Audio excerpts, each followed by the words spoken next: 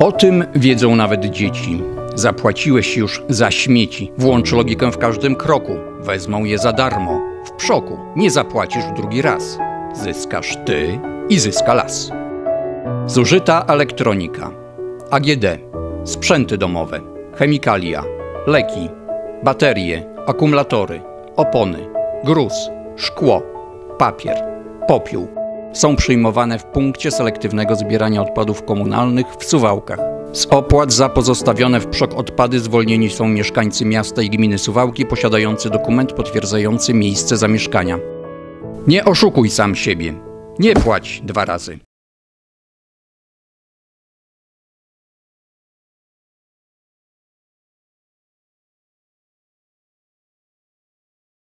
Ambitnie podeszli do inwestycji w transport publiczny pracownicy suwalskiego magistratu i opłaciło się. Projekt o łącznej wartości 30 milionów złotych został przeanalizowany przez Zarząd Województwa Podlaskiego i zakwalifikowany do wsparcia. Na jego realizację Suwałki ze środków europejskich i z budżetu państwa dostaną aż 26 milionów złotych. Jest to historycznie rzecz biorąc druga najwyższa e, dotacja do indywidualnego projektu, które miasto Suwałki e, złożyło i skutecznie właśnie pozyskało tą dotację. E, mówimy tutaj o projekcie, który zakłada e, poprawę jakości transportu publicznego w naszym mieście. Jest to trzeci etap. E, Pan przypomnę tylko, że w roku 2009 e, wtedy udało się kupić nam z e, dofinansowaniem unijnym 12 auto, nowych autobusów.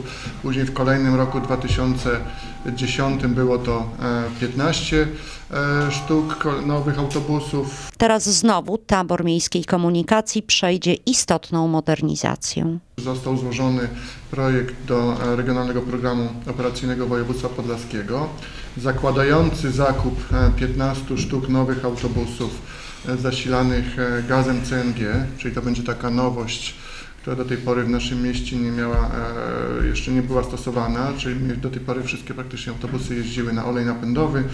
E, Teraz wprowadzamy nowy rodzaj paliwa, e, bardziej ekologiczny, gaz CNG.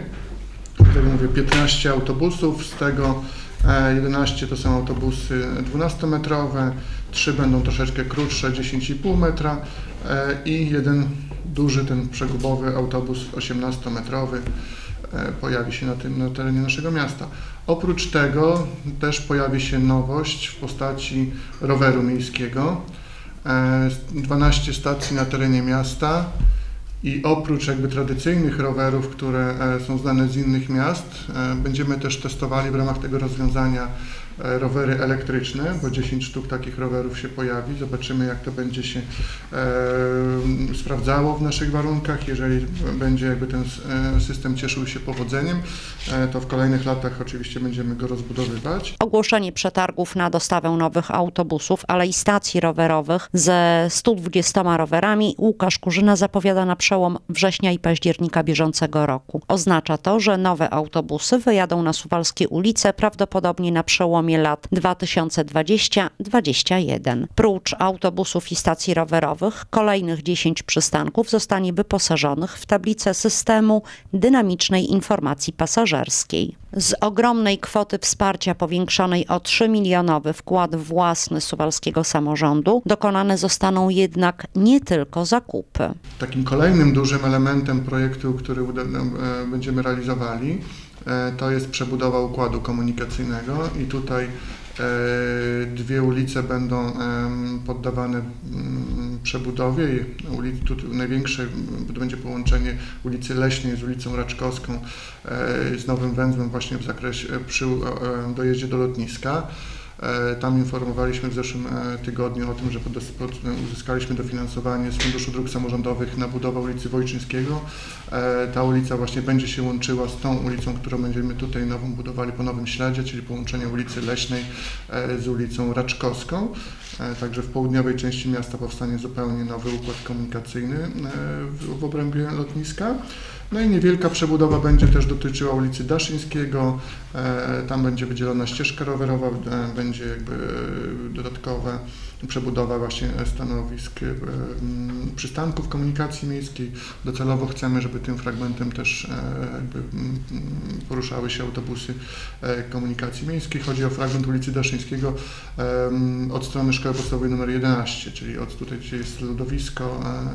Obecnie tam komunikacji miejskiej nie ma, a z naszych takich analiz wyszło, że po, po drobnym dostosowaniu będzie możliwe te, też wpuszczenie części linii komunikacji miejskiej. Całość realizacji projektu rozłożono w czasie. Jego zakończenie przewiduje się na sierpień 2021 roku.